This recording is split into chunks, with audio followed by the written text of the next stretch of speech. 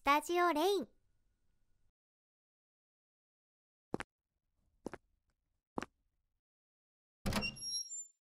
あ、おかえり。今日も遅かったね。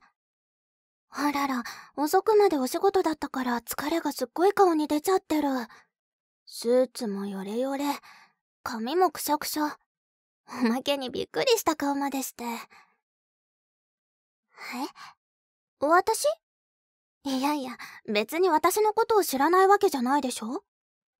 君とずっと一緒に成長してきた幼馴染なんだから、私が君のことを知ってるのは当然だし、君が私のこと知ってるのも当然でしょ？うん、そういうことじゃない？なんでお前がここにいるのかって？嫌だな。君さ、私に合鍵渡してくれたじゃん？渡してないうーん、まあいいじゃん。それよりも、君が疲れてるのに玄関先でずっと突っ立ってる方が問題だって。帰りを待っててくれた美少女がいてくれただけでもよかったって思いなさいよね。さ、さっさと部屋に入りなよ。別に、ここは君の帰ってくる場所なんだからさ。ほらほら、別にここが君の家でも私の家でも抵抗なんか全然ないでしょ？はい、お帰りなさい。ほらほら、ネクタイ外して座って座って。ああ、飲み物とかおつまみとか用意しなくていいから、座ってて座ってて。どう？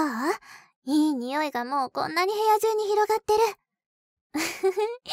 どうせいつも帰ってきたって何も食べずにゴロンしちゃったり、食べたってビールのおつまみがいいとこでしょ？なんでって、なんでなんで成人か？こんなこと別に予想するまでもないし、ゴミ箱とか冷蔵庫とか見ればすぐ分かっちゃうよ。もう。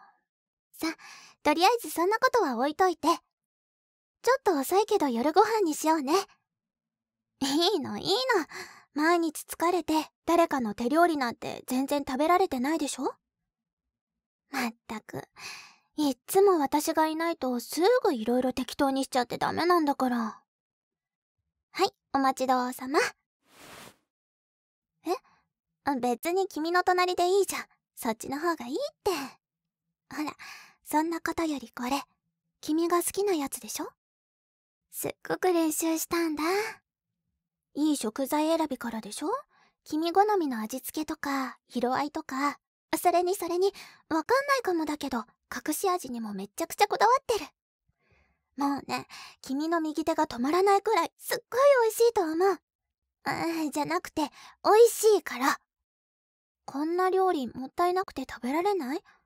い、いやいや、そう言ってくれるのは嬉しいけど、食べてくれなきゃ困るから。なんで困るって、そ、そりゃ、私一人じゃさすがにこの量は食べきれないよ。ほら、私がフーフーして、あーんって食べさせてあげるから。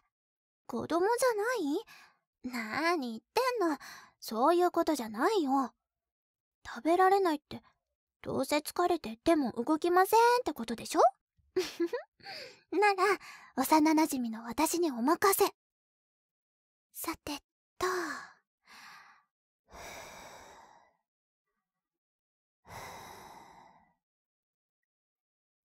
はい。はーん？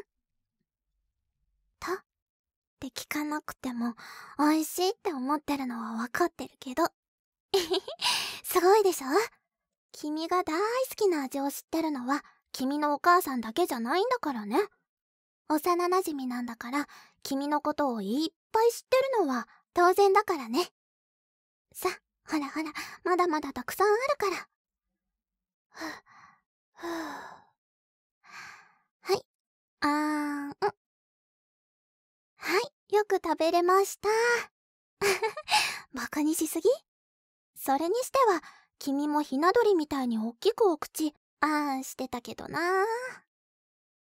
可愛かった。よ。ごめんごめんってば。ん？何？どうしたの？あ早く帰らないと終電とか大丈夫なのかだって。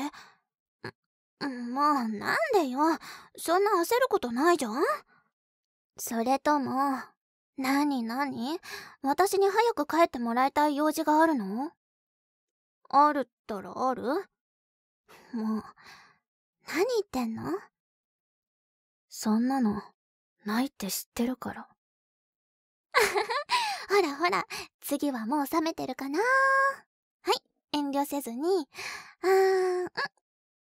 ね、美味しいよね。あらら、ほら、よく噛んで。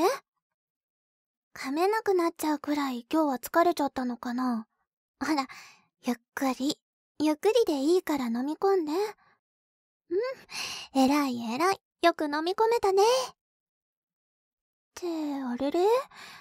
体が動かないかな？やっぱり日頃無理してたせいですっごく体に出ちゃったんだよ。毎日毎日朝早く起きてぎゅうぎゅう詰めで。お仕事はいろんなストレスがあって、でも毎晩遅くまで嫌なことばっかで。でも、いつもちゃんとした食事もゆっくり睡眠も取れてなくて。私とも全然付き合い減っちゃったもんね。そんな君をいじめてばっかりのお仕事なんか、私、嫌だよ。ん？なんか言った？もう、お口まで痺れちゃってるね。何言ってるかわかんないよ。でも大丈夫。こう言ってるんだよね。僕、もう疲れたよ。癒してよ。って。私は、あなたのこと、全部わかってるから。あなたが言いたいこと、あなたがしてほしいこと、全部わかってあげられるから。うん、いいのいいの。お着替えも、明日のことも全部忘れて、君のベッドでゆっくり、私と添い寝しようね。大丈夫。お酒なんかに頼らなくっても、私がゆっくり寝かしつけてあげる。私が、幼馴染のこの私が、夢にも出てくるように。ね。さてと、両脇に腕通して、と、うわぁ私でも持ち上げられるくらい軽くなっちゃってる。よいしょ。よいしょ。もう、これはいよいよしっかり癒してあげないとね。よし。はい。からーん。頭の位置も大丈夫だよねーと。そういえば私と一緒に寝るのも、もう何年ぶりかって感じだね。嬉しいなぁ君と。またこうして久しぶりに寝られるんだもんな。うん、そうだ。今日はもう一つ、いいもの持ってきてるんだ。じゃーん。ロー君が何をして欲しがってるかは、わかるよ。心の奥底では、癒されたいし、休みたいし、ゴロゴロしたい。私と前みたいに何にも考えずに笑ってたり、時間なんか放っておいて、ぐだぐだテレビを見たり、ゲームしたり。でも、君はすっごく真面目で、誠実でおバカさんだから。優先順位を間違えちゃうことも、あるもんね。明日は、うーん、とりあえず、君がしっかり回復するまでは縛ったままだから、いいよ。何にも心配いらない。でも、すっかり社会に染められた君は、そう言ったって、ね。だからこうやって、絶対ほどけないようにぐるぐるーって縛りまくって、手も足も自分じゃ動かせないから仕方ないよねって言い訳できるくらいにぐるぐる巻いて。これでいいかな。これで、やっと、やーっと、こうして、君のこと、独り占めできる。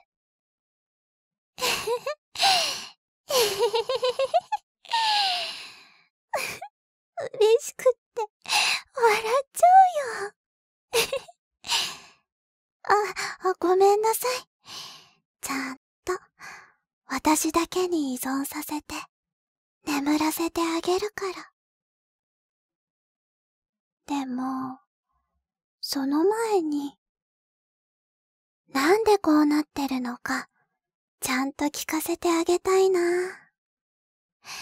あなたにね、私の思い、聞いてほしいんだ。前まではずっ、ただのお友達みたいな関係だったけど、私たちはずっと一緒にいて、宿題見せたり、時には足を引っ張り合ったり、素敵だったなぁ。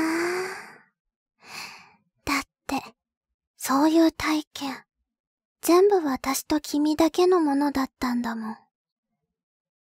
友達も、女も、全部寄せ付けないで、全部、私とだけの時間。私だけの君、君だけの私。初めての友達だって私だった。初めての仲のいい女の子だって私。初めて一緒に遊んだのも、家に遊びに行ったのも、お泊まりも喧嘩も、君は知らないかもだけど、ファーストキスだって。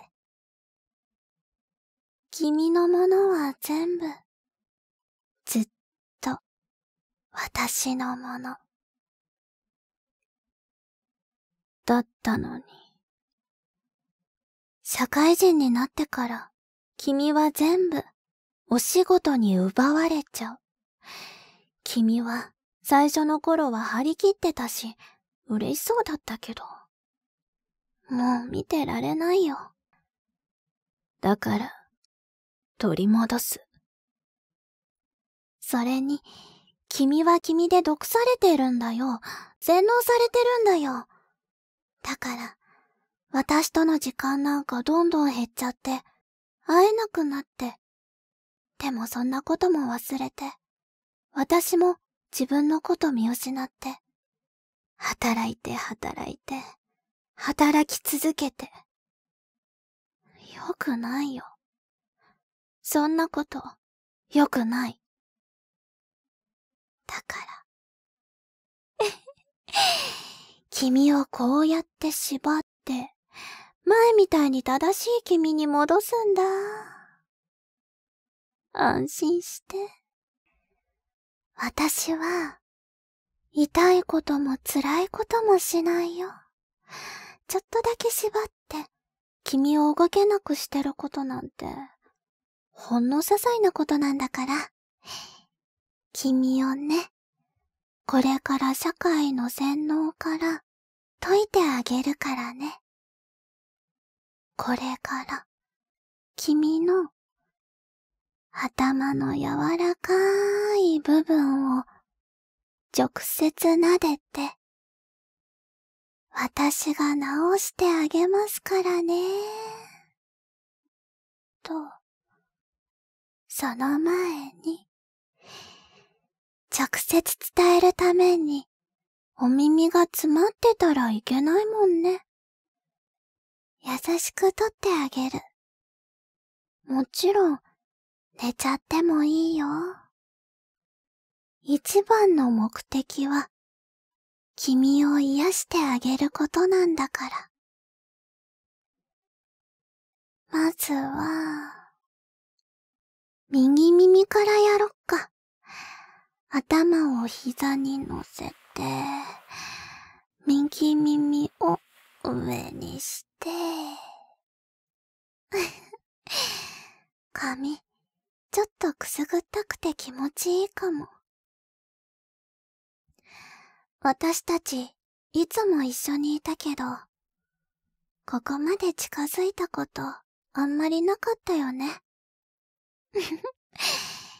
君のぬくもり、君の頭、君の香り。嫌われるのが嫌だったからしなかったけど、もっと早くやってればよかったかな。ま、もう過去のことなんか、どうでもいいよね。まあ、動けないだろうけど、動いたら危ないから、一応言っとくね。それじゃ、耳かき、入れてくよ。カリ。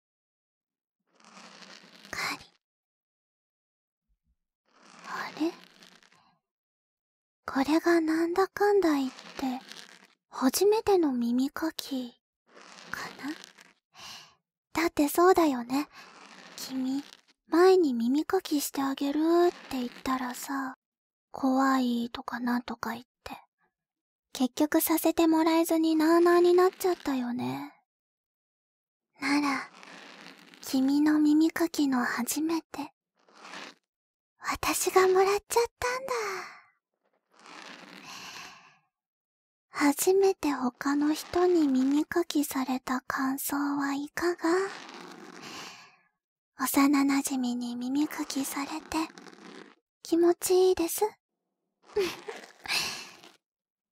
こちらこそ、どうも。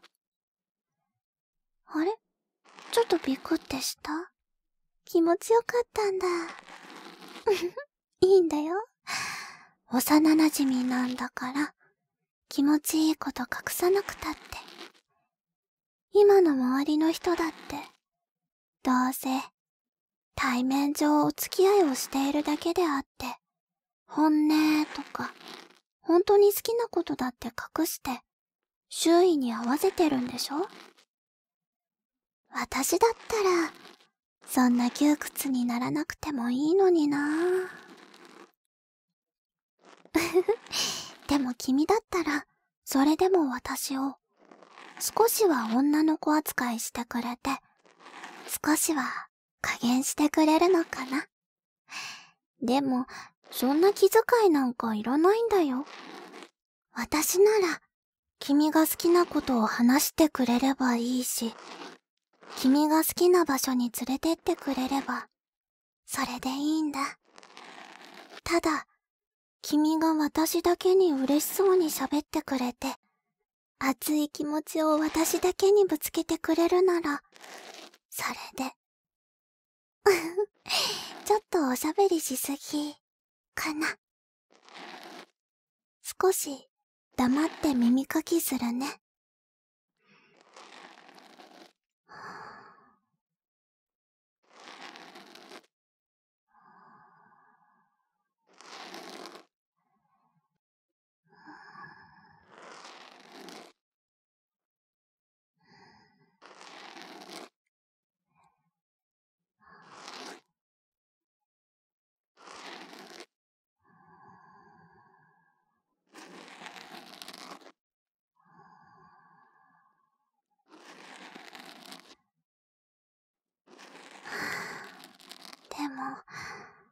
こうして二人きりになるの、本当に久しぶり。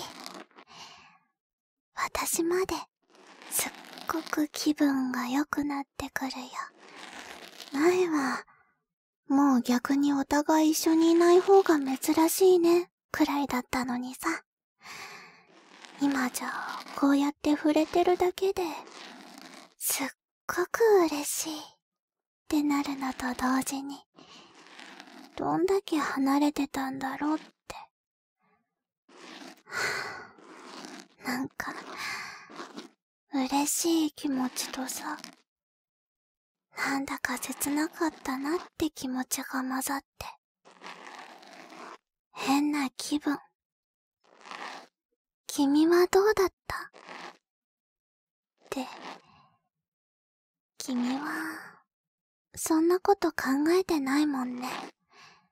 連絡だって君からは全然くれないし。仕事が忙しいって、全然会えなかったし。私はすっごく寂しかった。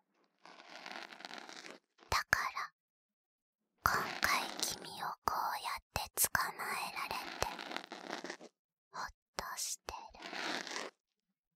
いいんだよ。ゆっくり、だらーっと、ドローって寝ちゃっても、私の前だけなら、君だって安心して気を許せるでしょ。ほら、昔を思い出してさ。ね。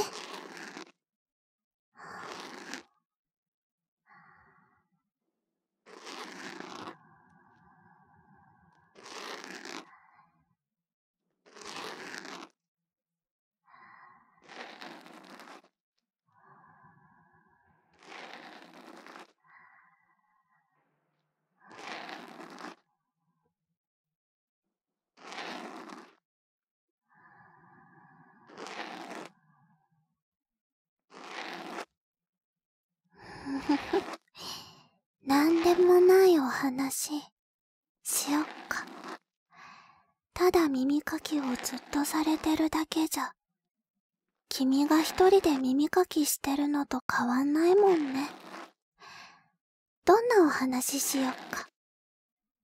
あんまり、二人でゆっくりお話しする機会、なかったもんね。そうだなぁ。私ね、君のこと、ずーっと見てきたからわかるんだ。君は、すっごく頑張り屋さんで、周りともうまくやろうって、努力してるの知ってるよ。ほら、今日だってご機嫌取りして、同僚のお仕事を遅くまで手伝って、こんなにくたくた。ちょっと背中を押してあげただけで、体に力が入らないくらい。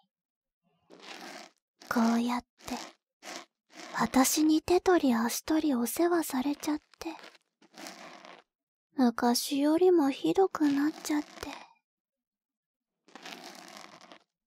かわいい。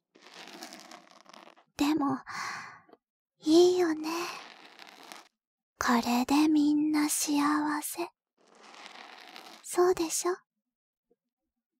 こんなに疲れ切った君をお世話してあげて、ゆっくりこうしておしゃべりができて、君を感じられて、私だけが独占して、甘やかして、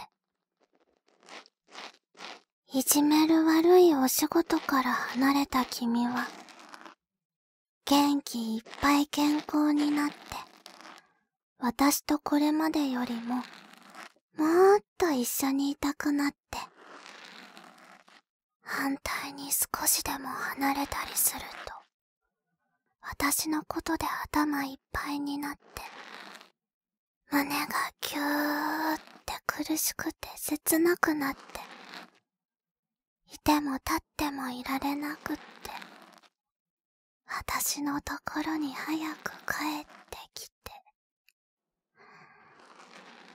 これで、二人はいつまでも、ずっと、お互い幸せに暮らしていくんだよ。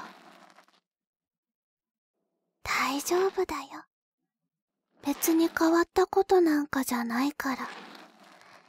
今までの延長を、ちゃんとやり直そうって言ってるだけなんだからね。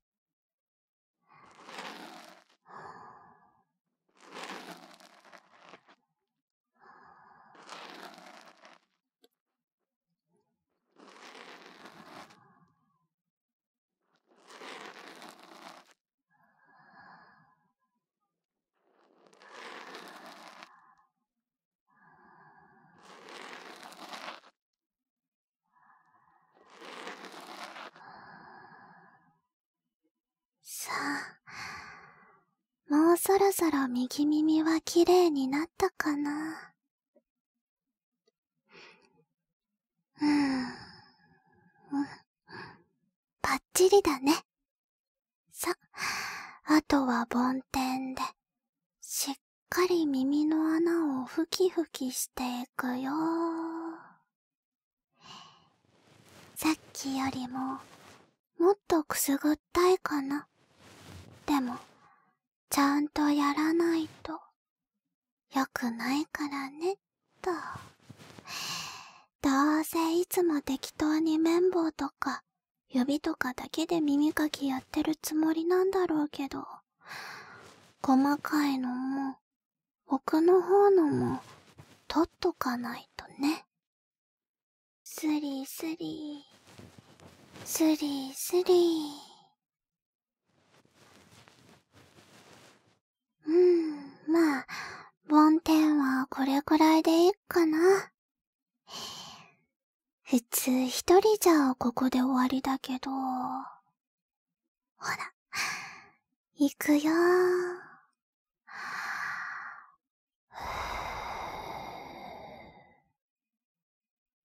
どう？初めてだよね。耳の奥の奥までふーって吹きかけられるの。これで、君の右耳を遮る余計なものは、全部、吹き飛ばしちゃいました。しっかりお掃除したから、すっきりして、心地いいでしょ。だもんね。じゃあ、この調子で次は左耳ね。はい。コロコローっと。はい、よくできました。抵抗せずに、素直に幼馴染にされるがままで、偉いですね。そんな偉い子の左耳は、あらら、ここは悪い子ですね。なら、お仕置きに、お耳、こちょこちょしちゃうよ。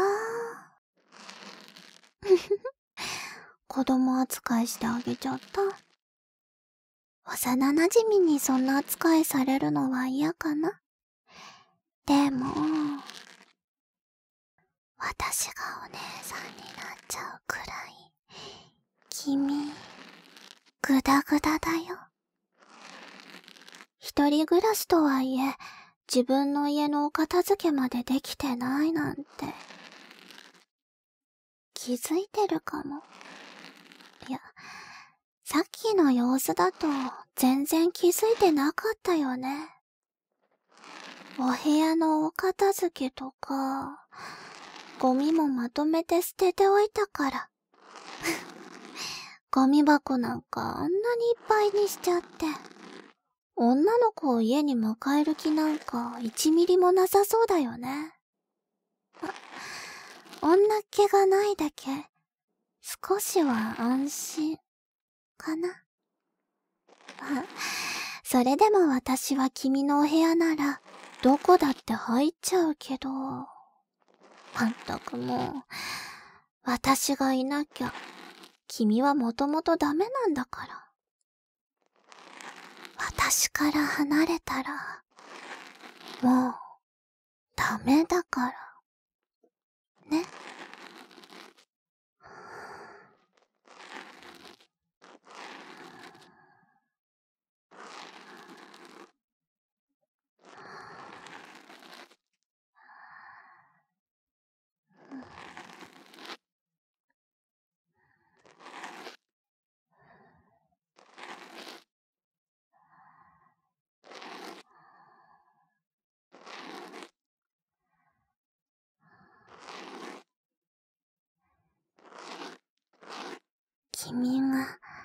いろいろ手が回らなくなってたから。逆にこうして、君を甘やかすチャンスができたんだよね。はぁ、これが私だったからよかったものの、他の変な人とか、泥棒さんとかだったら大変だよ。君が積み上げてきたものを、全部持っていかれて、いいように蹂躙されて、もてあそばれて、人生めちゃくちゃにされて、後に残るのは、一体何かな？君、自身だけ？そんな保証、どこにもないよね。とさ、後には君自身だって残らないよ。私だったら、君の何もかも、奪っちゃうかな。本気だったら、どこか遠くへ連れ去って、私のいいようにしつけて。でも、幼馴染で、君と仲のいい私は、君といい関係になって、お互いが幸せになれるようにしたいな。ね。君だって、したいこととかいっぱいあるでしょ？お友達がいれば、お友達と遊びに行きたいだろうし、後輩がいれば、後輩とかに色々教えてあげたいって少しは思うだろうし、他にも、私と一緒にしたいこと、いっぱいあるでしょ？だから、今まで通りの余裕のない生活はさ、もうやめようよ。私とさ、前みたいに、なんでもない感じでも、さ。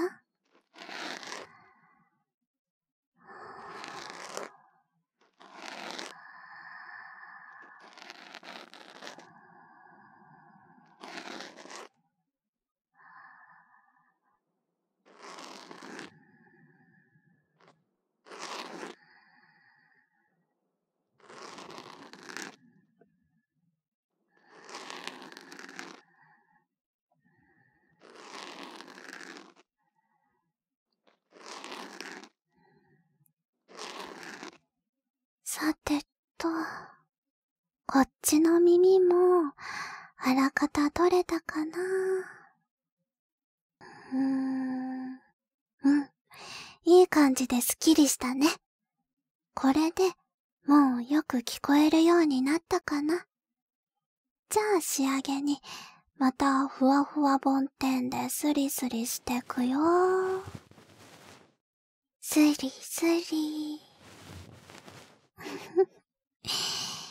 いらない不要なカスは、幼馴染みの私がしっかり取り除いてあげないとね。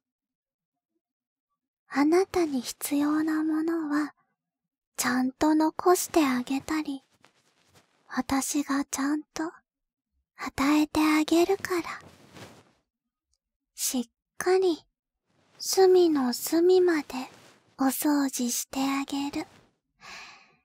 君がだらけ切っても、君が少し間違えちゃっても、私が管理して、必要なものと、そうじゃないもの。私が君の代わりに分けてあげるからね。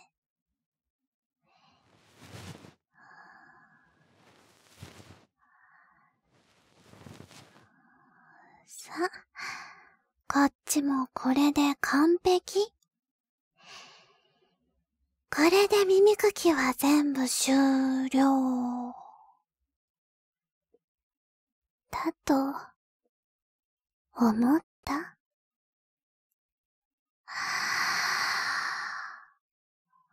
ぁ。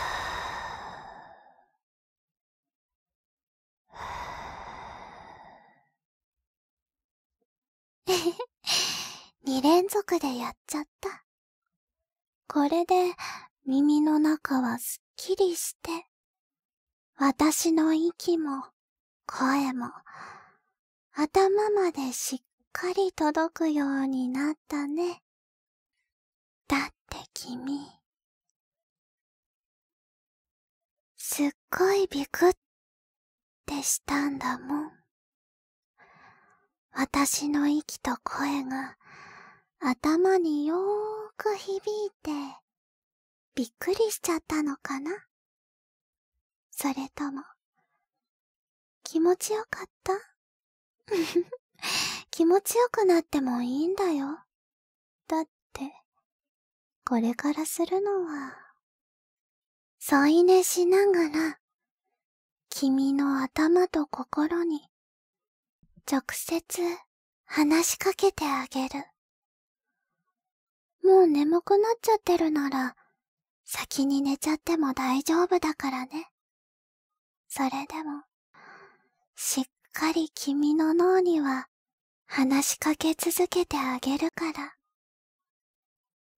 さっき、ビクってなったこと、気が済むまで、眠りにつくまでし続けて、癒してあげるからね。さ、頭は下ろしてっと。私もゴローン。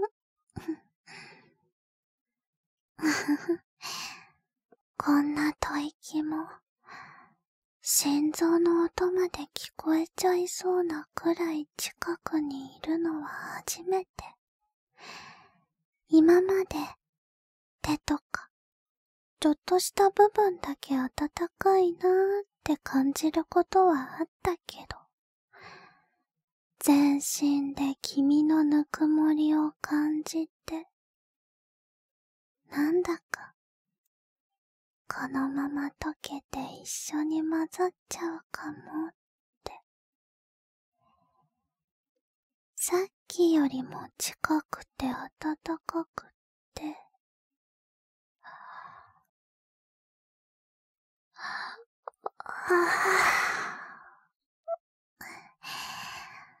なんだか、私まで眠くなってきちゃった。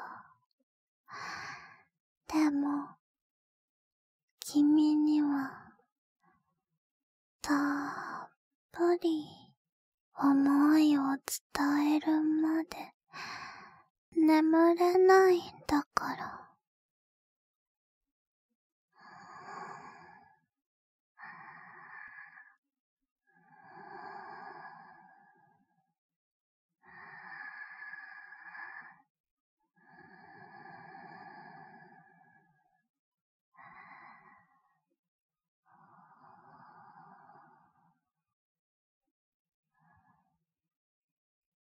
私さ、寂しかったんだよ。君にはずーっと会えないし、やっと電話できたと思ったら、すぐ切れちゃうし、何より、君の声が前のと全然違う。なんでだろうって考えなくたって、すぐにわかったよ。君は、口では楽しいよ。頑張ってるよって言ってくれてたよね。嬉しかった。私に気遣ってくれてたんだもんね。でも、このままじゃ絶対、良くないって思ったの。君は、私に気遣って、それで自分を騙してるんだよ。そんなの。許せないよ。でも、君はそんな状態だから、絶対私が何か言っても、大丈夫、大丈夫って言うでしょ。だからね、君の家に、直接来ちゃった、も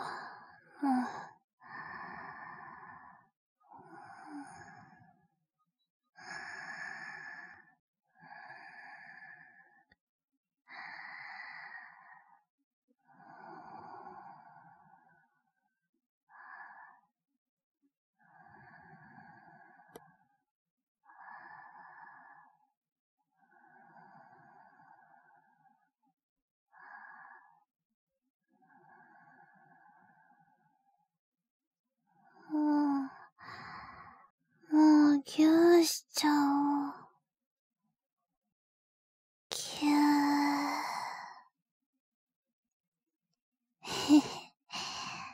これで君は、私のもの。ね。いいよね。今まで全然くて寂しかった分、これから一生分、好きにしていいよね。うん。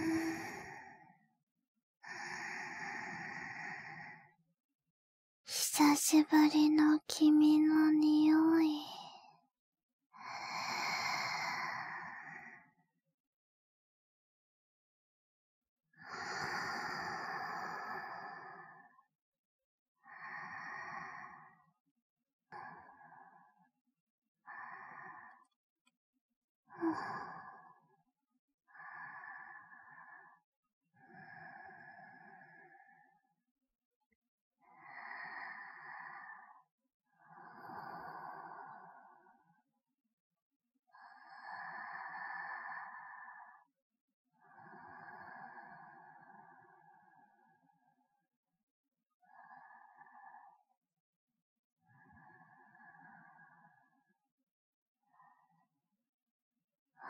私は、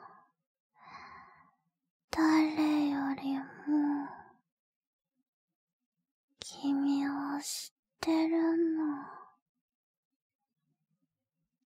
だから、辛いことがあったら、